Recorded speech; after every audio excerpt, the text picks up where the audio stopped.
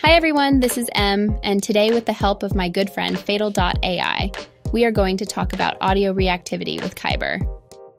If you don't already know, Kaiber is this fantastic AI driven video generation app that's all about empowering your creativity, no matter if you're a total beginner or a pro filmmaker. Kaiber makes the entire video creation process super simple and accessible, so you can focus on unleashing your imagination and creating amazing content. With Kaiber's new audio reactivity feature, this fantastic addition lets you tweak the camera motion speed in your Kaiber videos to match your music's vibe. To get a better idea of how it works, picture the zoom camera motion. Cranking up the values gives you quicker zooming, while dialing them down results in slower zooming, all perfectly in tune with your jams.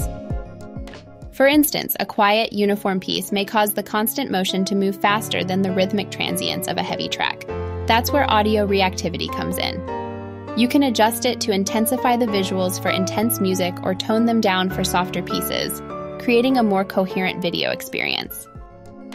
Another critical aspect of audio reactivity is its effect on specific camera motions, like rotation, especially in non square aspect ratios. With default or higher settings, loud music sections may cause screen tearing issues towards the video edges.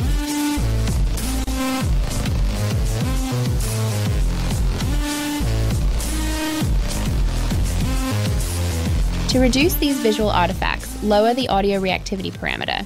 Values of 3 or lower work well for the rotation camera type. So go ahead and start experimenting with audio reactivity to enhance your Kaiber AI generated videos. Thanks for watching and don't forget to subscribe for more.